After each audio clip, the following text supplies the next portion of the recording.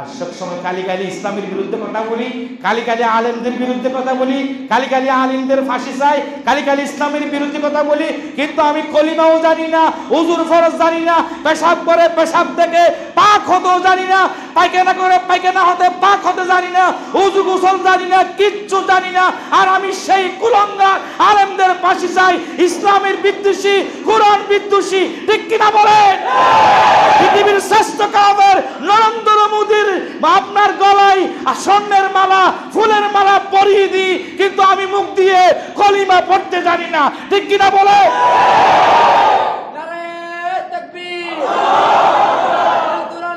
আলো হাদিসের আলো ইসলামের শত্রুরা বিপ্লব বিপ্লব নারায়ে তাকবীর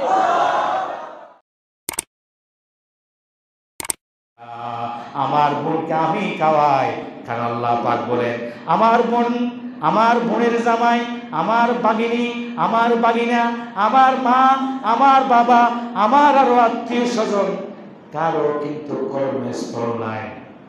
কারও কিন্তু কর্মস্থল নাই, কাজের জায়গা নাই, কেউ কাজ করে না। আল্লাহ পাক রব্বুল আলামিন বলেন, ওই দশ পনেরো বিশ জনের কর্মসংস্থান আমি আল্লাহ রব্বুল আলামিন তুমি একজনের হাতে তুলে দিয়েছি। তোমার ফ্যামিলির পনেরো, বিশ জন, তোমার বোন মাসে মাসে বেড়াইতে আসলে দুই বেলা, তিন বেলা, পাঁচ বেলা, দুই দিন, তিন দিন কামে। সেই রিজিকগুলি আমি আল্লাহর গোলামি তুমি ভাইয়ের হাতে তুলে দিয়েছি। রাগ করিস না, রাগ করিস না, ভাই আসবে খাওয়াবি। বোন আসবে, খাওয়াবি। আত্মীয় স্বজন আসবে, খাওয়াবি। কারণ কেন খাওয়াবি? আল্লাহ পাক বলছেন, এদের রিজিকগুলা আমি তুমি একটি হাতের উপরে তুলে দিয়েছি।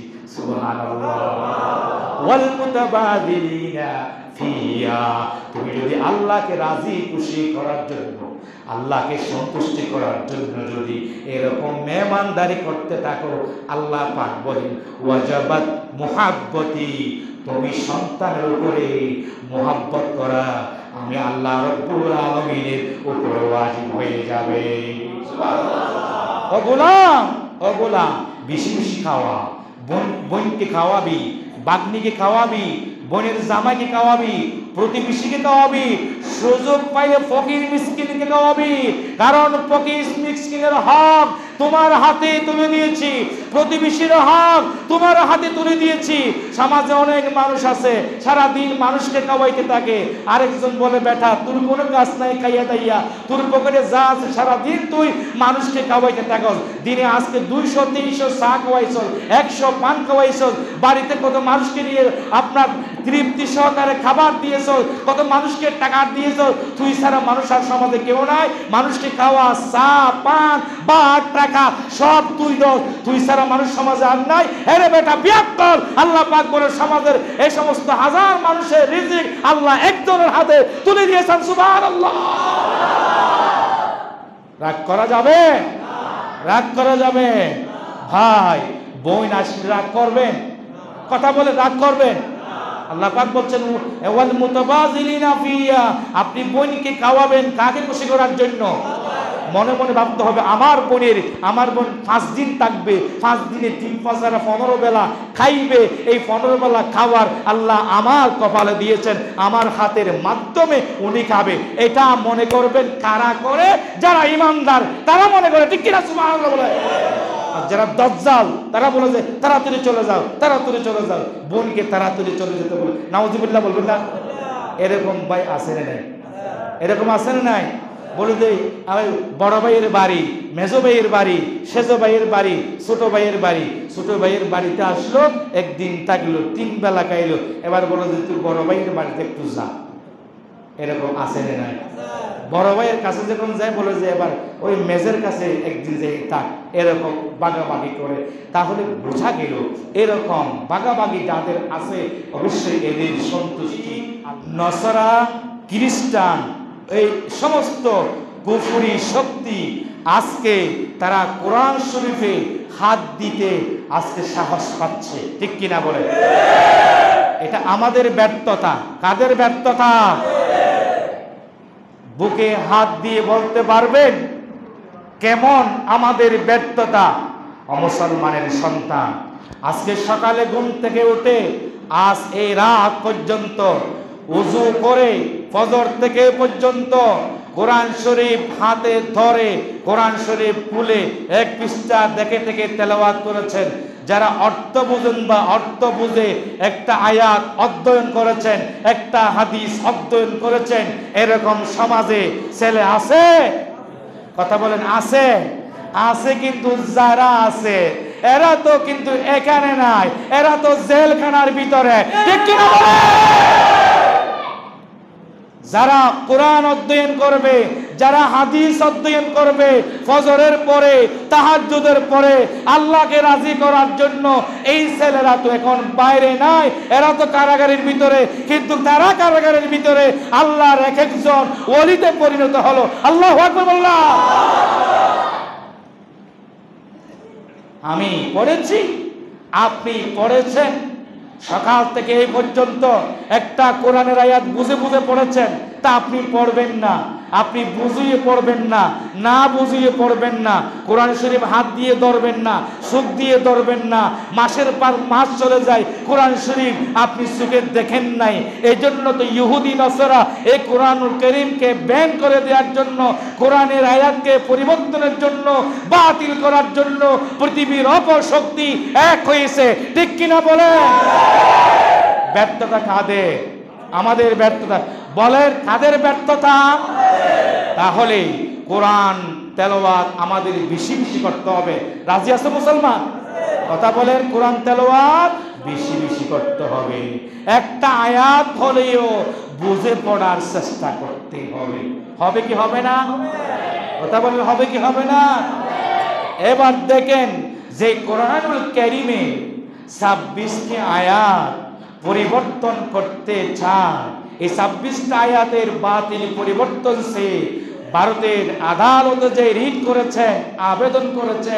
ওই কুলঙ্গার পৃথিবীর নিকৃষ্ট আদালত যে রায় গ্রহণ করেছেন, নাউজুবিল্লাহ বলবেন না।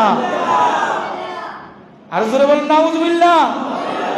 ওই ছাব্বিশটা আয়াত, কোন কোন আয়াত, কত নম্বর পারা, কোন সুরা, কত নম্বর পৃষ্ঠা, দেখেছি? এই মুসলমান, দেখেছি, দেখার চেষ্টা করেছি, আর আমি আর ময়দানে নামি। জেহাদ জেহাদ জেহাদ চাই, জেহাদ করে বাঁচতে চাই, স্লোগান দিই কিন্তু এগারোটি ছাব্বিশটি আয়াত যে পরিবর্তন করতে চায় পৃথিবীর কাফেরা ওই আয়াতগুলি কোন কোন আয়াত? যে জিনিসটার দিকে না যেতে নিষেধ করে, না শুনতে নিষেধ করে, না গাইতে নিষেধ করে, আবার বাধা সৃষ্টি করে, ওই জিনিসের প্রতি মানুষের আকর্ষণ বাড়ে। না। বলা হলো, মোহাম্মদ পাগল, নাউজুবিল্লাহ বলবেন না। মোহাম্মদের আনিত ধর্ম ইসলাম বাউতা বাজে, নাউজুবিল্লাহ বলেন। মোহাম্মদ নামে এমন একজন ব্যক্তির আবির্ভাব হয়েছে। আমাদের বাপদাদার আমলের মূর্তি শুদ্ধা ব্যঙ্গে চুরমার করে উনি নাকি লা ইলাহা ইল্লাল্লাহ, মোহাম্মদুর রসুল্লাহ একটি স্লোগান নিয়ে, মিশন নিয়ে বের হয়েছে। আমাদের আগের আমলের শত শত আমলের সব বাদ দিয়ে লাত্তি মেরে ব্যঙ্গে চুরমার করে ওনার নতুন আনিত ধর্ম নাকি বলে আমরা গ্রহণ করতাম। বলবেন না? মোহাম্মদ কি বলল? পাগল বলল, মোহাম্মদের কাছে যেও না। না। তার কাছে জাদু আছে। বান মারবে, জাদু করবে মদাডিলা হয়ে যাবে, পাগল হয়ে যাবে জ্ঞান হারা হয়ে যাবে। নাউজুবিল্লাহ বলবেন না। বুড়ি মাথায় গাঠি নিয়া বের হলো আব্দুল্লাহর বেটা মোহাম্মদ। নাউজুবিল্লাহ বলেন আমরা বলি ওয়াসাল্লাম। বলল, আব্দুল্লাহর বেটা মোহাম্মদ এক বলে পাগল বের হয়েছে। সে বলে, লা ইলাহা ইল্লাল্লাহ বলে বলে সমাজে এই আরবের জমিনে মানুষের কাছে বলে বেড়াচ্ছে। তার নির্যাতনে আমরা অতিষ্ঠ হয়ে গেছি। তার এই দাওয়াতে অতিষ্ঠ হয়ে গেছি। তার এই কলিমায় আমরা অতিষ্ঠ হয়ে গেছি। তার জ্বালায় আমি বুড়ি আমার গাঁটটিটা মাথার উপর লইয়া এই মক্কা ছেড়ে আমি অন্য জায়গায় চলে যাচ্ছি ওই বুড়িমা মাথায় গাঁটটি নিয়ে চলে যাচ্ছে। যেতে যেতে কত দূর গেলেন, সামনে একজন যুবক পড়ে গেল, সুবহানাল্লাহ। কি পড়ে গেল? জোরে, কি পড়ে গেল?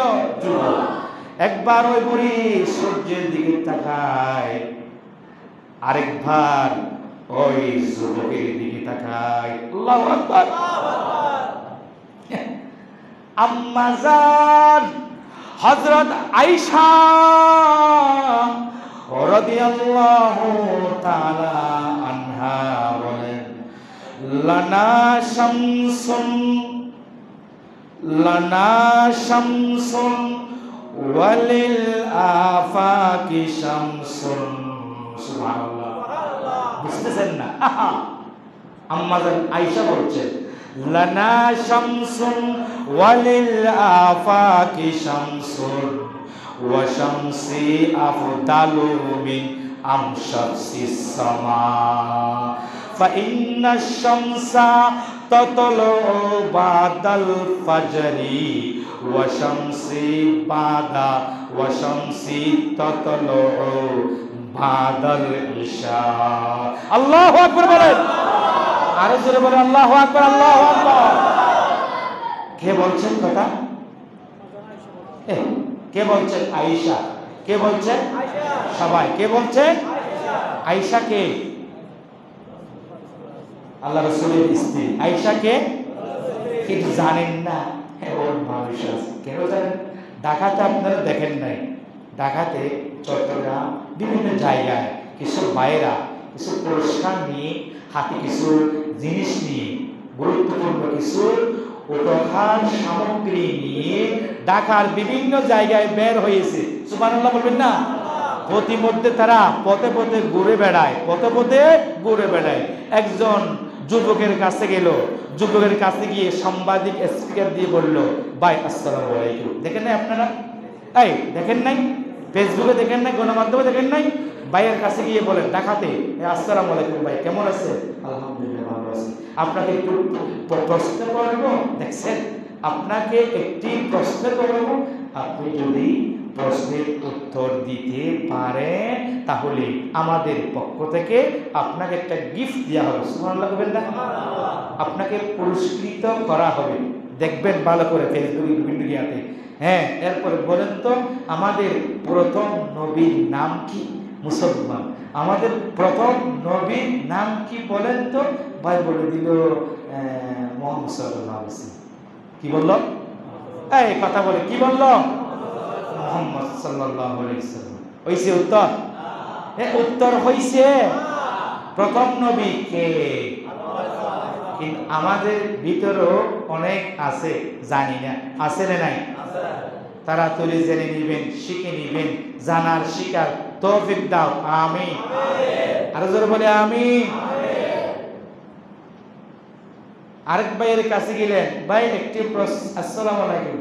আপনাকে একটি প্রশ্ন করব। উত্তর দিতে পারলে আপনাকে একটা উপহার সামগ্রী দেব। আপনি বলতে পারবেন, কলিমা।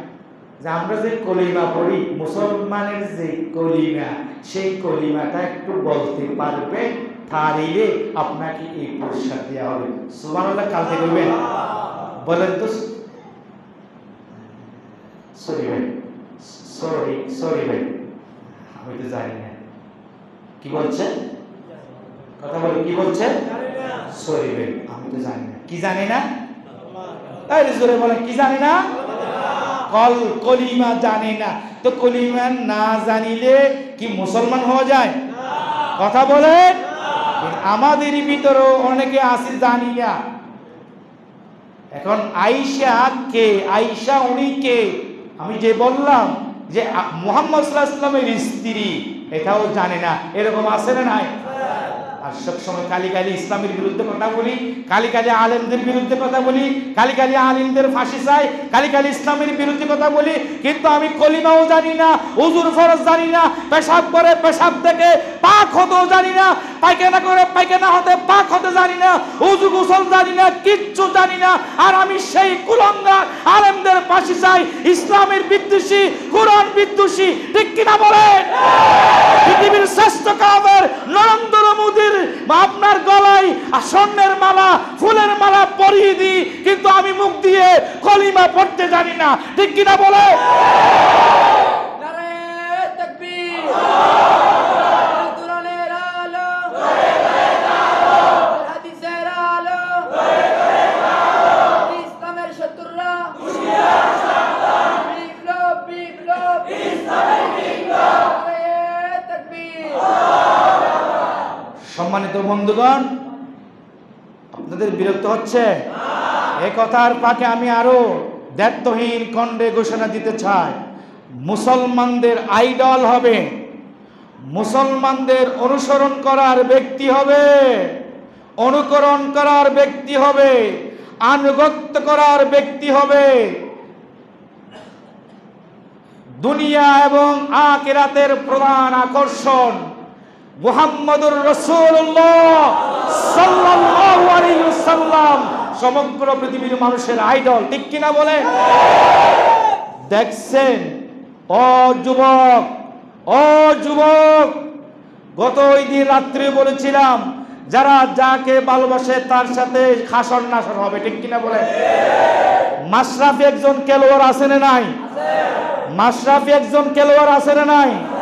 তার পাশে নরেন্দ্র মোদীর পাশে দাঁড়িয়ে যে ফুলের মেলা দিল, মাশরাফির সাথে আরেকজনকে এমপি? কি, আপনারা কি মানুষ নাকি আর কি? ওই কি এমপি একজন আছে খেলোয়াড় হ্যাঁ? সাকিব আল হাসান তো এমপি না। হ্যাঁ?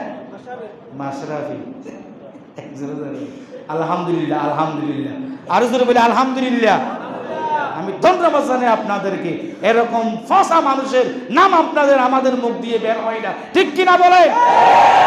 দেশের হাজার হাজার মুসলমান যুবক, তোমরা কাদেরকে অনুসরণ করো? তোমরা কাদেরকে অনুসরণ করো? যিনি নরেন্দ্র মোদীর পাশে দাঁড়িয়ে, মানুষকে কু জানোয়ারের পাশে দাঁড়িয়ে, যার গলায় ফুলের মারা পরিয়ে দিল সেই মাসরাফি আর সাকিব। এরা মুসলমানদের, যুবকদের আইডল হবে। পারে না পারে না পারে না। সুলমানদের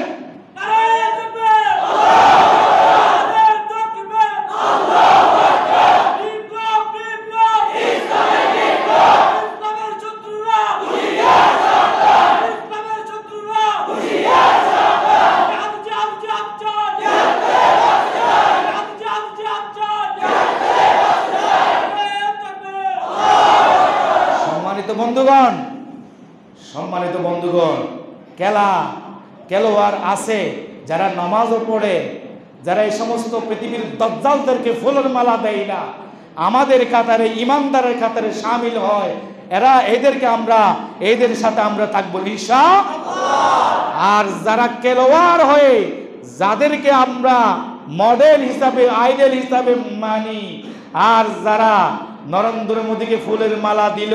আজ থেকে আমরা তাদেরকে বর্জন করলাম, তাদেরকে তুত নিক্ষেপ করলাম। কারা কারা রাজি আছে?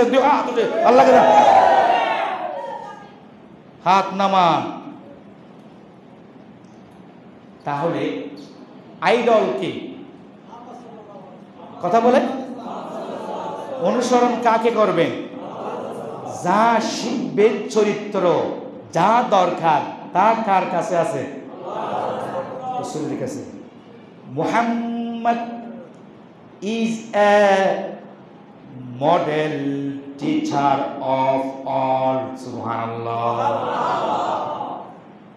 একজন শ্রেষ্ঠ শিক্ষক হতে চাও, একজন শ্রেষ্ঠ শিক্ষক হতে চাও, Mohammad is a model teacher of all সমগ্র পৃথিবীর জন্য শুধুমাত্র, কেবলমাত্র একমাত্র আদর্শ মডেল শিক্ষক হলেন নবী Mohammad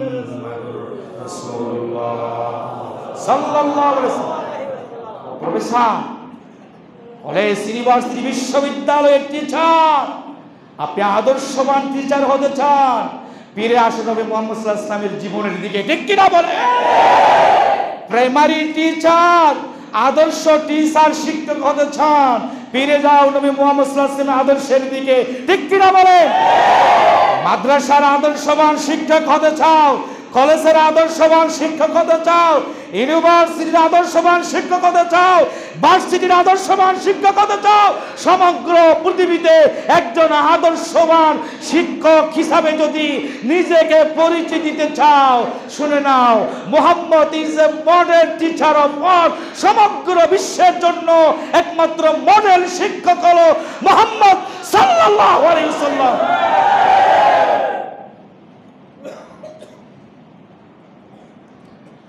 Muhammad is a model father of all. আদর্শ বাবা হতে চাও, তাহলে ফিরে আসো মোহাম্মদ সাল্লাল্লাহু ইসলামের জীবনের দিকে। মোহাম্মদ ইসলামের মতো বাবা পৃথিবীতে আর কেউ আছে? কথা বলেন, আছে। মোহাম্মদ হলেন পৃথিবীর শ্রেষ্ঠ পিতা। যেই পিতা ছেলে এবং সন্তান। ছেলে সন্তানের যেই অধিকার পিতার উপরে তাকে সেই অধিকার একশো একশো অক্ষরে অক্ষরে আদায় করেছেন মোহাম্মদ রসুল্লাহ সাল্লাম। আর আপনিও বাবা আপনিও বাবা, জি বাবা, দুইজন আপনার ছেলে আছে। এই ছেলেকে কত আদর করেন, মোহাব্বত করেন। কিন্তু পাঁচ বিঘা জমি পাঁচ বিঘা জমি আপনার দুই ছেলের নামে আপনি দিয়ে দিলেন, পাঁচ মেয়ে আছে। এদেরকে আপনি বাদ দিয়ে দুই সন্তানের নামে পাঁচখানি সম্পদ দিয়ে দিলেন। পাঁচ মেয়েকে মাহরুম করে আপনি দজ্জাল বাবা, আপনি দজ্জাল বাবা, আপনার ঠিকানা জাহান্নাম। জাহান্নাম ঠিক কিনা বলে? এরকম বাবা আছে না নাই? এই, কথা বলেন, আছে না নাই? নিজের সন্তানের নামে দিয়ে দেয়। মেয়েদেরকে মাহরুম করে, মেয়েদেরকে ঠাকায়। এরকম বাবা আছে নয় Mohammad is a model mother of all সমগ্র পৃথিবীর সর্বসর্বা শ্রেষ্ঠ পিতা হলেন মোহাম্মদ সাল্লাল্লাহু আলাইহি ওয়াসাল্লাম। আর কোনো বিকল্প আছে?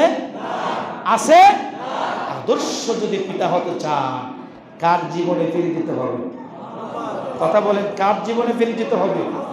আলোচনা করতে গেলে কিন্তু মুয়াজ্জিন ফজরের আজান দেবে কিন্তু আমি, আমার অবস্থা এখন কিন্তু আস্তে আস্তে এগিয়ে আসছে।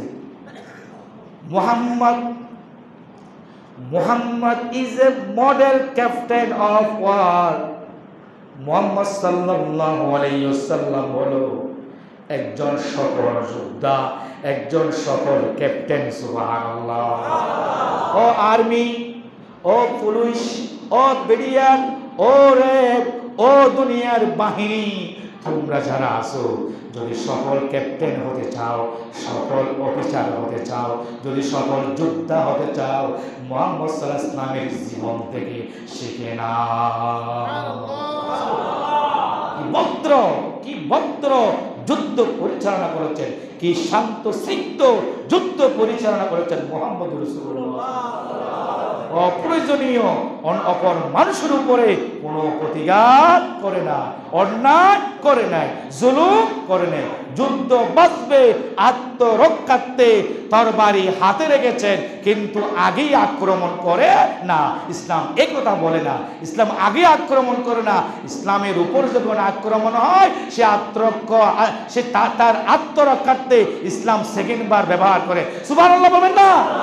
এই যুদ্ধ নীতি এই রাষ্ট্রনীতি কে শিখিয়েছে? কে শিখিয়েছে আকবর বলেন। আরও জোরে বলেন আল্লাহ আকবর। ওয়াজাবাত মুহাব্বাতি। কে বলছেন? আল্লাহ। জোরে বলেন কে? আল্লাহ রাব্বুল আলামিন বলেন আমি আল্লাহর মোহাব্বত আমি আল্লাহর ভালোবাসা আমি আল্লাহর মোহাব্বত ভালোবাসা ওই বন্দার উপরে ওয়াজিব হয়ে যায়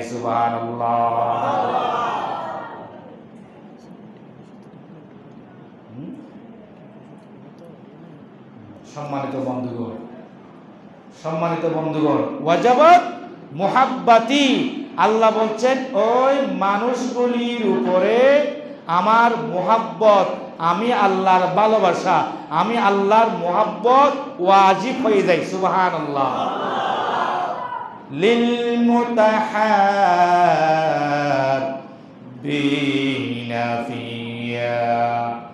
যারা আমি আল্লাহ রব্বুল আলমিনের সন্তুষ্টি অর্জন করার জন্য দুনিয়ার মানুষ একজন আরেকজনকে ভালোবাসে সুবাহ আল্লাহ বলেন।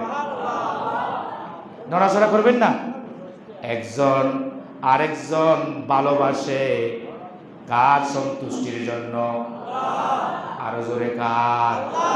আল্লাহর সন্তুষ্টির জন্য দুনিয়ার এক মানুষ আরেক মানুষ মোহাব্বত করে। আল্লাহ পাক বলেন, লিল মুতাহাব্বিনা ফিয়া। আমাকে রাজি করার জন্য, আল্লাহ বলে, আমাকে খুশি করার জন্য, আমাকে রাজি করার জন্য বাই বাই মোহাব্বত করে, প্রতিবেশী প্রতিবেশী মোহাব্বত করে। সুবহানাল্লাহ বলে। আত্মীয়, অনাত্মীয় মোহাব্বত করে কার সন্তুষ্টির জন্য? কার? আল্লাহর সন্তুষ্টির জন্য, আল্লাহর ভালোবাসার জন্য। দুনিয়ার একজন আরেকজনকে যদি ভালোবাসে, সুবহানাল্লাহ বলেন, তার উপরে আমি আল্লাহর ভালোবাসা ওয়াজিব হয়ে যায়, সুবহানাল্লাহ। সেই মানুষগুলিকে আমি আল্লাহ নিজে মোহাব্বত করি, সুবহানাল্লাহ। এক দুই নম্বর।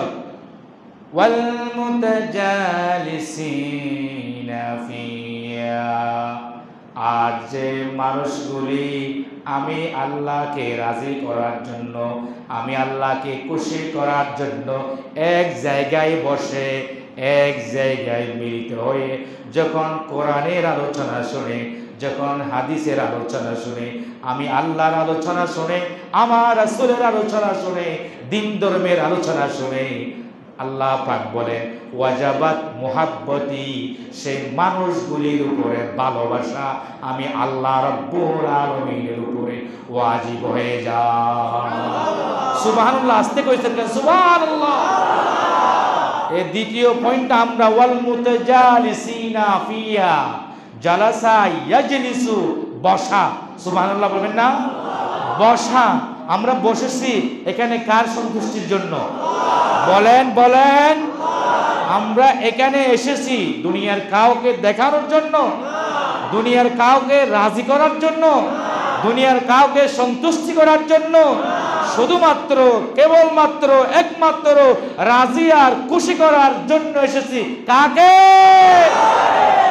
ওয়াল মুতাজালিসিনা ফিয়া আল্লাহ পাক বলছেন, দুনিয়ার মানুষ যখন ঐক্যবদ্ধ হয়ে মাঠে, ময়দানে, বাড়িতে, গড়ে, আঙ্গিনায়, রাস্তা, ঘাটে, মসজিদে যে কোনো জায়গায় একত্রিত হয় যখন কোরআন, হাদিসের আলোচনা শুনে আমি আল্লাহকে রাজি করার জন্য একসাথে মিলিত হয় ওয়াজাবাত মুহাব্বতি আমি আল্লাহর উপরে ওয়াজিব হয়ে যায় ওই মানুষগুলিকে পছন্দ করা, ওই মানুষগুলিকে ভালোবাসা, ওই মানুষগুলিকে মোহাব্বত করা, আমি আল্লাহর উপরে ওয়াজিব ওয়াজিব ওয়াজিব হয়ে যায় সুবহানাল্লাহ সুবহানাল্লাহ। আমাদের আর কিছু লাগবে? এই চিল্লায় বলেন, আমাদের আর কিছু লাগবে? আমরা কার ভালোবাসা পেতে চাই? দুই হাত তুলে আল্লাহকে বলেন, আল্লাহ আল্লাহ, তোমার ভালোবাসা দাও। তোমার ভালোবাসা দাও আমরা তোমার ভালোবাসা চাই আমরা তোমার মোহাব্বত চাই দুনিয়ার কারো ভালোবাসা কারো মোহাব্বত চাই না চাই না চাই না চাই না আল্লাহ তুমি কবর করো আমি আরো তুমি বলো আমি হাত নামাক সম্মানিত বন্ধুগণ কার ভালোবাসা চাই والمتجالسين فيها যারা এক জায়গায় মিলিত হয়, আল্লাহ বলেন, তাদেরকে ভালোবাসা, আমি আল্লাহর ওপর ওয়াজিব হয়ে যাই। তিন নম্বর হলো ওয়াল মুতাজাবিরিনা ফিয়া যারা আমি আল্লাহকে রাজি করার জন্য, আমি আল্লাহকে খুশি করার জন্য একজন আরেকজনের সাথে সাক্ষাৎ করে। সুবাহান আল্লাহ দুই বন্ধু সাক্ষাৎ করল। কয় বন্ধু? জোরে কই বন্ধু? আপনি মাঝখানে তৃতীয় ব্যক্তি গিয়ে বললেন, ভাই, আপনারা সেজন্যমূলক সাক্ষাৎ করলেন। এতদিন পরে কি উদ্দেশ্যে, কি কারণে, কি গাছে আপনারা সাক্ষাৎ করলেন এতদিন তো দেখা হয় নাই দুইজনের মাঝে। তারা বলছে, আমরা আল্লাহর সন্তুষ্টির জন্য একজন আরেকজনের সাথে আমরা আমরা কি হয়েছি? একজন আরেকজনের সাথে সাক্ষাৎ করেছি সুবাহার আল্লাহ আমরা দুইজনের মাঝখানে যে সাক্ষাৎ, এই সাক্ষাতে সন্তুষ্টি কা বলেন কিন্তু বর্তমান পৃথিবীতে যে একজন আরেকজনের যে সাক্ষাৎ, এই সাক্ষাৎ খুব ভয়ঙ্কর, এই সাক্ষাৎ খুব ভয়ঙ্কর। রূপ ধারণ করে ঠিক কিনা বলেন? প্রেমিক প্রেমিকা প্রেমিক, প্রেমিকাকে পাওয়ার জন্য আশেক মাসুককে পাওয়ার জন্য, সুদি, যার থেকে সুদ নেই তাকে পাওয়ার জন্য, দুনিয়ার স্বার্থ ছাড়া দুনিয়ার মানুষ একজন আরেকজনের সাথে বর্তমান এই সময়ে দেখা করে না, সাক্ষাৎ করে না। ঠিক কিনা বলে এই সাক্ষাতের ভিতরে আল্লাহর সন্তুষ্টি আছে? কথা বলেন আছে? স্বার্থে দেখা করে নিজের স্বার্থের জন্য। কথা বলেন কার স্বার্থের জন্য? আপনি জান দিলেও যাবেন না যে এত দূরে একজন মানুষের দুই কিলোমিটার হেঁটে হেঁটে গিয়ে বা পকেটের টাকা খরচ করে বা গাড়ি ভাড়া দিয়ে দুই পাঁচ কিলোমিটার দূরে গিয়ে একজন মানুষের সাথে এক টাকা বিনিময় ছাড়া দেখা আপনি করবেন? কথা বলেন করবেন? করে না এরকম। এরকম করে। অমুক জায়গার অমুক ব্যক্তি আমার সাথে খুব ভালো সম্পর্ক আছে, কিন্তু আমি নামাজ পড়ি, আমার সেই ভাই নামাজ পড়ে না। তাকে কীভাবে নামাজের দিকে আনা যায়? কলা কৌশল করার জন্য পকেটের টাকা নিয়ে হেঁটে গেলাম বা গাড়ি ভাড়া দিয়ে গেলাম। তাকে পেট ভর্তি করে নাস্তা খাওয়াইলাম, তাকে নামাজের ব্যাপারে বুঝাইলাম, কিন্তু এই বুঝা, এই যাওয়া, এই আশা এই কথা, এই সাক্ষাৎ কাকে খুশি করার জন্য? সেজন্য বিশ্বনবী জোরা বলে, মোহাম্মদুর রাসূল সাল্লাল্লাহু আলাইহি ওয়াসাল্লাম বলেন তিন নম্বরে, ওয়াল মুতাজাওয়িরিনা ফিয়া যে দুনিয়ার মানুষগুলি একজন আরেকজনের সাথে সাক্ষাৎ করে। সাক্ষাতের মধ্যে সন্তুষ্টি কেবলমাত্র কার? কার? কিন্তু বর্তমান পৃথিবীর মানুষের ভিতরে এই চরিত্র, এই স্বভাব মূলত খুব কম দেখা যায়। ঠিক কিনা বলে? কম দেখা যায় না? মানুষের অন্তরের ভিতরে কি আছে, কি নাই, এই অন্তর জামি কে? মানুষের অন্তরের খবর কে জানে? বলবেন না? ইন্নামাল আ'মালু বিন্নিয়াত নবী করিম সাল্লাল্লাহু আলাইহি ওয়াসাল্লাম বলেন, প্রত্যেক কাজ তার নিয়তের উপরে নির্ভর করে। আপনি যে নিয়ত করবেন, আপনার কাজটা নিয়তের উপরে যাবে, সুবহানাল্লাহ। আপনি নিয়ত করেছেন, দশজন মিসকিনকে আপনি খাবার দিবেন দশ জোড়া খাবার দিবেন, সুবহানাল্লাহ বলেন। কিন্তু আপনি নিয়ত করেছেন মানুষকে দেখানোর জন্য মিসকিন ফকিরকে কাপড় দিলেন, খাবার দাবার দিলেন। অন্তরের ভিতরে এটা নাই। আল্লাহকে রাজি করার জন্য, আল্লাহকে খুশি করার জন্য আমি দিচ্ছি না। কিন্তু এ কথা দুনিয়ার কোনো মানুষকে আমি বলি নাই। আমার অন্তরের ভিতরে আছে মানুষকে দেখানোর জন্য। কিন্তু আমি মানুষের সমাজে বলি, আল্লাহর ওয়াস্তে আমি খাওয়াইতেছি, আল্লাহর ওয়াস্তে আমি দিতেছি, কিন্তু তার অন্তরের ভিতরে আল্লাহর ওয়াস্তে নাই। আছে? কথা বলেন, আছে? বাইরে এক, ভিতরে আরে ভিতরে অন্তর বলে মানুষকে দেখানোর জন্য কাওয়াই ভিতরে বলে আর বাইরের মুখ দিয়ে বলে আমি আল্লাহকে খুশি করার জন্য খাওয়াই। কিন্তু যেই খাওয়াইলো ঠিকই, কিন্তু নিয়ত কইটা হলো দুইটা? ওই নিয়ত কয়টা হলো দুইটা?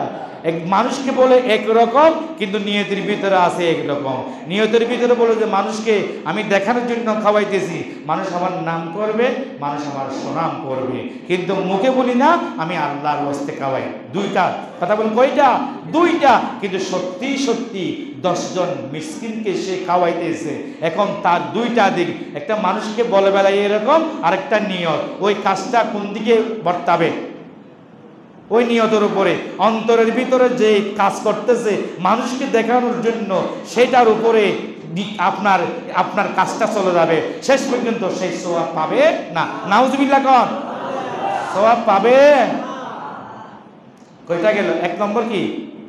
কথা বলে এক নম্বর কি? এ হাদিসে তিনটা পয়েন্ট বললাম। এক নম্বর কি? লিল মুতাহাব্বিনা ফিয়া কি ওয়াস কি ওয়াস